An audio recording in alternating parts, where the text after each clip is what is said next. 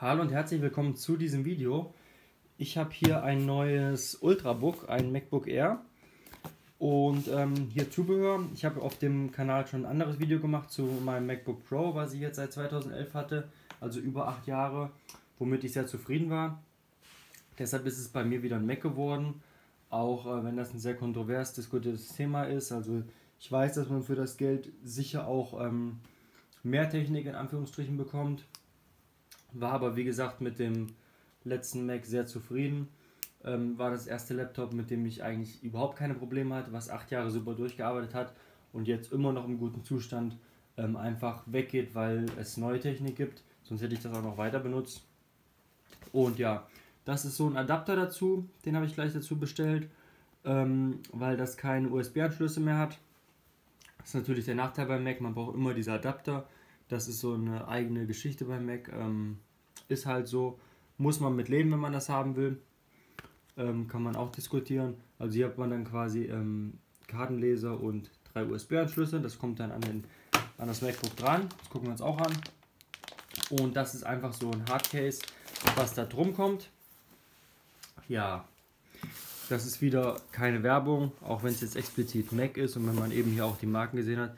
Das ist alles von Amazon, und ähm, ja, gucken wir uns das hier an. Ähm, assembled in China. Das war eigentlich klar, dass das daher kommt. Machen wir jetzt einfach mal auf, aber wir brauchen ja keine Schere. Das ist hier so aufzureißen. Zack. Und dann. Ah, okay. Dann klappt man das hier auf. Und hat schon den typischen Apple-Karton. Der Rest kann dann weg. Ist natürlich wieder viel Papier in dieser Wegwerfgesellschaft. So, dann haben wir hier, brauchen wir auch keine Schere. Das kriegen wir auch so komplett ab. Das finde ich schon mal gut.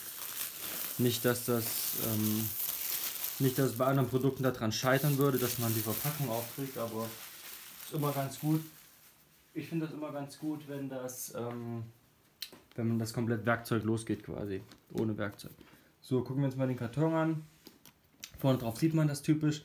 Das aktuelle MacBook Air 2019 ist auch nicht viel äh, dünner und viel leichter als das MacBook Pro äh, 13 Zoll.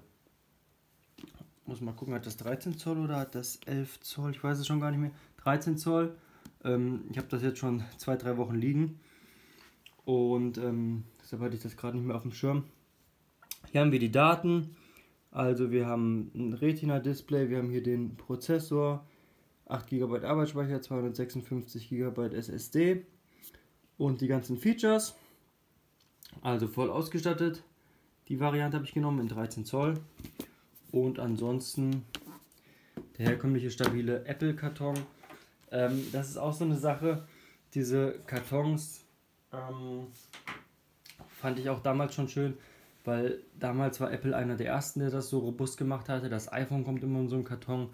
Ähm, ist in Anführungsstrichen eine Kleinigkeit, das kostet die gar nichts. Aber ähm, gerade ich bin so jemand, der dann nach sowas guckt und ähm, ja, ist halt schöner für die Optik. Macht halt den ersten Eindruck schöner. Machen wir das auf. Den Deckel legen wir weg. Dann haben wir schon das Gerät hier vorne mit so einem Zipper. Ist wirklich sehr leicht. Ist auf jeden Fall deutlich leichter als das ähm, MacBook Pro 2011, aber das war zu erwarten. Ich habe jetzt kein ähm, MacBook Air 2011 zum Vergleich. Ja, das ist das Gerät. So wie man das kennt, war so zu erwarten, behaupte ich mal. Dann haben wir hier vermutlich das Ladekabel. Hier sieht man diese äh, Anschlussbuchsen schon mal. Packen erstmal noch weiter aus. Genau, hier ist der Adapter garantiert. Ups. Jetzt habe ich schon zu viel abgerissen. Genau, hier. Muss mal gucken. Ich vermute mal, die sind symmetrisch. So, das passt rein. Der passt hier wahrscheinlich auch rein. Ja gut, das ist mal ein cleveres System, finde ich. ist zwar wieder ein ganz anderes Ladegerät bei Apple. Ähm, damit muss man auch leben, dass da alle 5, 6, 7 Jahre einfach mal was Neues kommt bei denen. Ähm, ist kein Micro-USB. Wie gesagt, entweder das, das Thema brauchen wir jetzt hier nicht aufgreifen, entweder man ist, ähm, man ist Apple-User und ähm, nutzt das oder eben nicht. Und ähm, das finde ich schon mal praktisch, dass es auf jeden Fall symmetrisch ist. Und ansonsten werden wir hier wahrscheinlich nicht viel drin haben. So ein Mac ist eigentlich selbsterklärend. Kleine Bedienungsanleitung. Ähm, und hier ist nichts mehr drunter oder drinnen. Genau, das war's schon. Das heißt, den Karton können wir auch wegpacken. Das heißt, in Summe ist es, ist es natürlich so, äh, wie man es jetzt sagen will, für recht wenig, für viel Geld. Ähm, aber das, das, was es kann, ähm, wenn es das genauso kann wie das äh, Vorgängermodell, was ich hatte, beziehungsweise was ich als Pro hatte, dann bin ich damit schon hoch zufrieden. Und ja, machen wir das mal auf. Ich mache die Kamera etwas runter, dann kann ich mich hinsetzen. Ist ein bisschen einfacher im Sitzen. Und ich weiß auch nicht, ob das Gerät geladen ist ab Werk. So.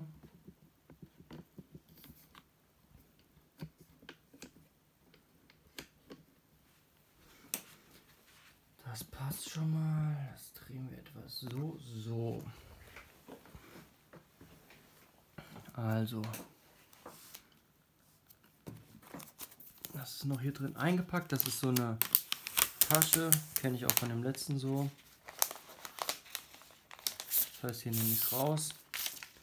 Und äh, was ich sehr auch an dem letzten geschätzt habe, ist einfach, dass es in 2011 kein vergleichbares Modell gab von Windows faktisch, ähm, was dieses Aluminiumgehäuse hat, was ich auch immer noch beim iPhone einfach hochwertiger finde. Klar verkratzt ein iPhone auch, genau wie ein Samsung oder so.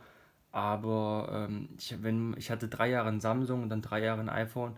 Ähm, die Telefone sehen einfach danach anders aus. Ist einfach mehr Plastik. Ist schon hier hochwertiger. Ähm, Verwendung von Aluminium rechtfertigt natürlich nicht die deutlich höheren Kosten, aber wie gesagt, das ist ein anderes Thema, das muss jeder selber wissen. So, so sieht das dann offen aus. Hier ist noch so eine Papierschutzfolie zwischen. Und dann gucken wir mal. Ähm, scheitert schon daran, dass ich gar nicht weiß, wie das angeht. Wahrscheinlich hier. Wenn es denn überhaupt, wenn es denn überhaupt noch Akku hat.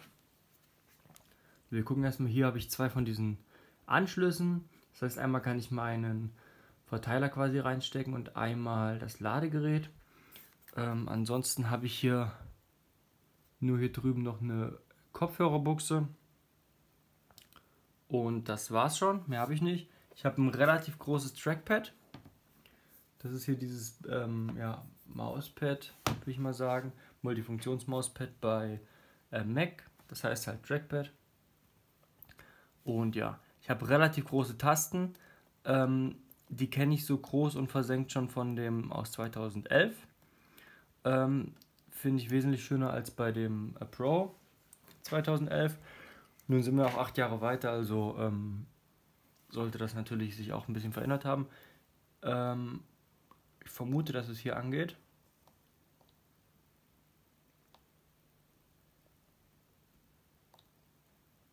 Aber dass es das jetzt nicht tut, weil es einfach faktisch leer ist.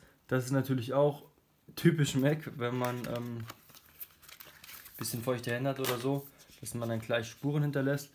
Hier, ich habe jetzt das mal kurz ausgepackt, ähm, weil man da so eine Übersicht hat oft. Erste Schritte. Und ähm, genau. Hier ist der Thunderbolt 3 USB-C. Anschlüsse zwei Stück. Was noch? Ja, dann die einfache Erklärung, Kopfhörerbuchse. Touch, ein Ausschalter, okay, genau, also ähm, da war ich schon auf dem richtigen Schalter. Ich vermute mal, dass es einfach ähm, einfach jetzt leer ist, einfach nicht geladen. Und ähm, ich denke, von der Zeit her reicht das auch so für den ersten Eindruck. Also der erste Eindruck ist eigentlich, wie ich es erwartet habe, hochwertig. Ähm, es ist schön leicht. Es soll wohl schwerer sein als das aus 2011. Das kann ich nicht sagen. Aber so von der Bedienung, von der Aufmachung her, finde ich auf jeden Fall gut, dass komplett hier viel, viel von äh, der unteren Fläche quasi genutzt ist, um große Tasten zu haben. Ja. Man kommt mit zwei Händen überall top dran. Hier ist Platz gespart. Das ähm, Multifunktions-Trackpad ist sehr schön groß. Und ähm, ja, die Details, die ich brauche, darauf wurde geachtet. Ich finde, es sieht gut aus. Ganz einfach auch. Und ähm, ja, wie gesagt, wir haben jetzt schon 10 Minuten voll. Ich werde das Gerät jetzt laden und dann machen wir einfach ein zweites Video zum Thema ähm, Hochfahren, Starten, erster Eindruck dabei, erste Einrichtung des Gerätes und dann werde ich auch mal einen neuen äh, iTunes bzw. Apple-Account einrichten. Ähm, Habe ich zwar, aber den nutzt die ganze Familie und dann äh, kommt immer mal einer auf die Idee, das Passwort zu ändern und so Spielereien. Und dann ähm, gibt es auch immer mal Probleme, dass alle Handys dann plötzlich synchronisiert sind, lädt sich einer eine App runter, haben dann, hat dann die ganze Familie plötzlich die neue App. Und ähm, ja, das ist da einfacher im Zuge, wenn man, wenn ich so ein Gerät mal neu habe, mache ich das dann neu. Das gehen wir alles durch. Und ansonsten, wenn es euch bis dahin gefallen hat, mir gefällt das Gerät auf jeden Fall. Deshalb habe ich es ja auch gekauft. Und ähm, ja, wenn es euch gefallen hat, wenn euch der Lieferumfang weiterhilft, wenn euch andere Informationen weiterhelfen, ähm, die ich jetzt nicht gegeben habe, schreibt es gerne unten rein. Und ansonsten gerne Abo dalassen, Daumen und Like und dann gerne bis zum nächsten Mal. Ciao.